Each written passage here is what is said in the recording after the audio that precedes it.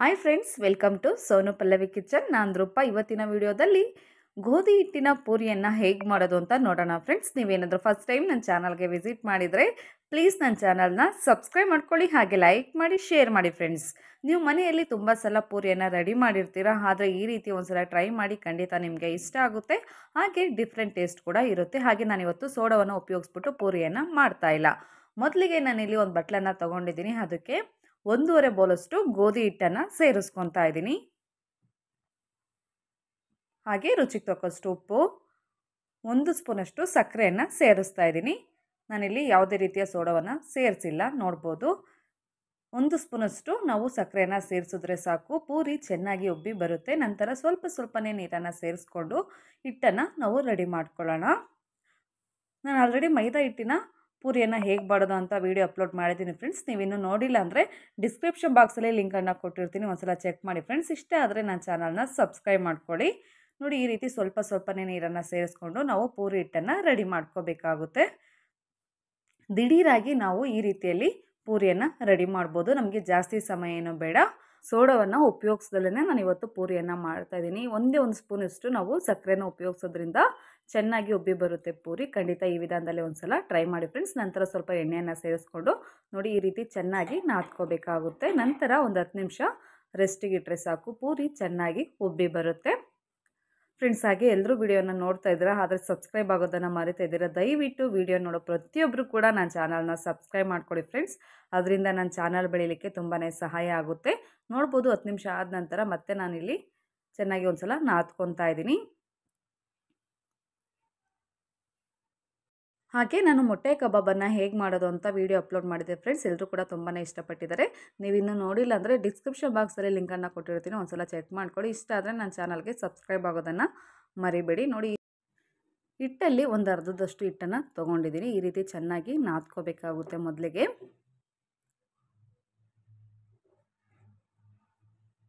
ನಂತರ ಸ್ವಲ್ಪ ಹಿಟ್ಟನ್ನು ಸೇರಿಸ್ಕೊಂಡು, ಅಂದರೆ ನಾನಿಲ್ಲಿ ಗೋಧಿ ಹಿಟ್ಟನ್ನೇ ಸೇರಿಸ್ಕೊಂಡಿದ್ದೀನಿ.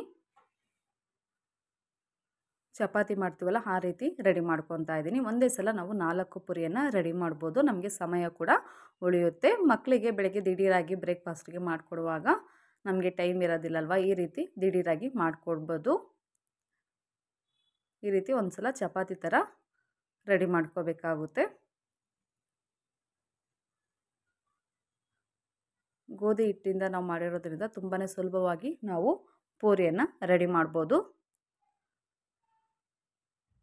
ನೋಡಿ ಯಾವ ರೀತಿಯಲ್ಲಿ ನಾನು ರೆಡಿ ಮಾಡ್ಕೊಂಡಿದ್ದೀನಿ ಅಂತ. ನಾನು ಯಾವುದೇ ರೀತಿ ಶೇಪ್ ಇರಲಿ ಅಂತೇನು ರೆಡಿ ಮಾಡಿಲ್ಲ ಹಾಗೆಯೇ ರೆಡಿ ಮಾಡ್ಕೊತಾ ಇದ್ದೀನಿ. ಮೀಡಿಯಮ್ ಆಗಿರಬೇಕು, ನೋಡ್ಬೋದು. ಈಗ ನಾನು ತೋರಿಸ್ತಾ ಇದ್ದೀನಿ, ಇಷ್ಟಿದ್ರೆ ಸಾಕಾಗುತ್ತೆ. ನಂತರ ನಾನಿಲ್ಲಿ ಒಂದು ಟಿಫನ್ ಬಾಕ್ಸನ್ನು ತೊಗೊಂಡಿದ್ದೀನಿ. ನೋಡ್ಬೋದು. ಈಗ ಇದಕ್ಕೆ ಸ್ವಲ್ಪ ಎಣ್ಣೆಯನ್ನು ಸ್ಪ್ರೆಡ್ ಮಾಡ್ಕೊತಾ ಇದ್ದೀನಿ.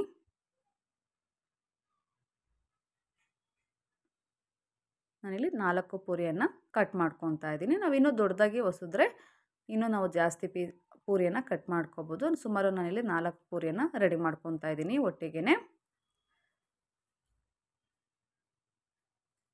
ನೋಡಿ ಯಾವ ರೀತಿಯಲ್ಲಿ ರೆಡಿ ಮಾಡ್ಕೊಳ್ಳೋದು ಅಂತ. ಇದೇ ರೀತಿ ನಾವು ಬ್ಯಾಲೆನ್ಸ್ ಇರುವಂಥ ಹಿಟ್ಟಲ್ಲೂ ಕೂಡ ಪೂರಿಯನ್ನು ರೆಡಿ ಮಾಡ್ಕೋಬೇಕಾಗುತ್ತೆ.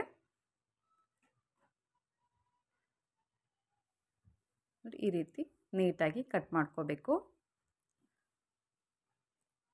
ನಂತರ ಏನು ಎಕ್ಸ್ಟ್ರಾ ಏನು ಇಟ್ಟಿದೆ ಅಲ್ವಾ, ಅದನ್ನು ಎತ್ತಿಟ್ಕೊತಾ ಇದ್ದೀನಿ. ನೆಕ್ಸ್ಟು ನಾವು ಪೂರಿ ಮಾಡಲಿಕ್ಕೆ ಉಪಯೋಗಿಸ್ಬೇಕಾಗುತ್ತೆ.